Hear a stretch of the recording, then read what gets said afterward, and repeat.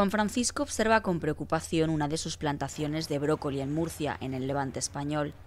Riega estas plantas gota a gota durante una hora al día.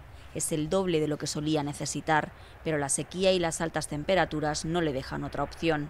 Las plantas están como, como languidecidas por las altas temperaturas.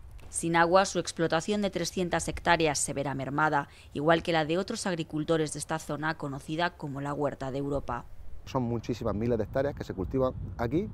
En cuanto eso lo reduzca a la mitad, pues todo lo que no se cultiva será desierto, en pocas décadas, en pocos años.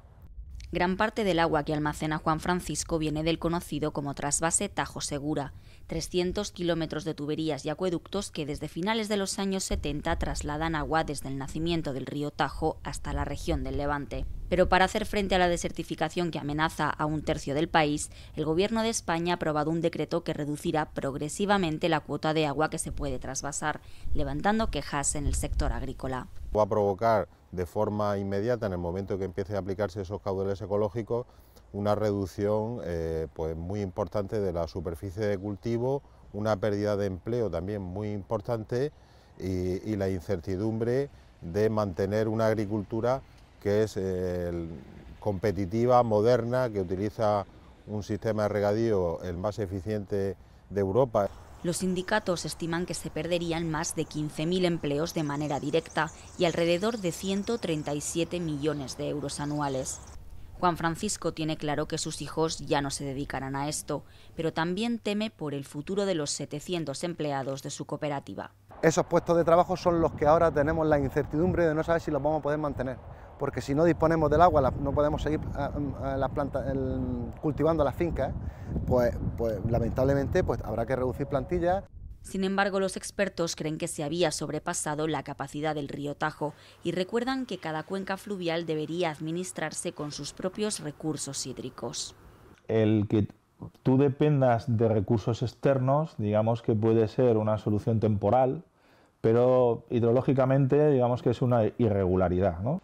Una opinión que también comparten en Greenpeace, a quienes la reducción del agua del trasvase les parece una buena noticia y en este caso el río Tajo necesita esos caudales, necesita ese agua para, lógicamente, sobrevivir sus ecosistemas y también las gentes que viven en el río, con lo cual es una buena noticia desde el punto de vista ambiental y también desde el punto de vista social. Al otro lado del trasvase, los habitantes de la cuenca del Tajo denuncian que les están dejando sin agua. Los asientos del kiosco estaban inundados de agua, o sea que estabas bebiendo y con los pies metidos en el agua. Pues eso ya hace años que no lo hemos visto. Ya Carlos recuerda la época en la que esta era una zona de recreo, con bares, restaurantes y veraneantes que disfrutaban del conocido como Mar de Castilla, una imagen muy diferente a la actual. Ver aquí que, que, solo ves el río, el río pero con la tierra cuarteada, cuarteada como si fuese un, un, desierto, un desierto. Eso da pena porque era la zona más fértil. Todo eso estaba lleno de árboles, de frutales y viñas y de todo. El agua para que os hagáis una idea, llega justo al límite con los pinos. Su hijo Borja culpa el trasvase de la pérdida de empleos y población en los municipios ribereños, que han visto cómo el turismo se reducía, llevándose con él alojamientos y restaurantes de los que hoy solo quedan ruinas. En el momento que se empieza a ir el agua hacia Levante, se empieza a ir el agua por la tubería, también se van los negocios, se va el empleo, se van las familias, se van las personas, los pueblos nuestros empiezan a abandonar, nadie quiere invertir. Denuncian que se ha empobrecido un territorio a costa de enriquecer otro. En Murcia, sin embargo, creen que el agua es de todos los españoles. La región de Murcia y el Levante es una de las, eh, de las zonas con menos pluviometría, con menos lluvia de Europa. Y nos hemos tenido que adaptar. Fíjese que en la región de Murcia, solo con el 3% del agua de regadío de España, producimos el 25% de las frutas y hortalizas de España. Solo con el 3%.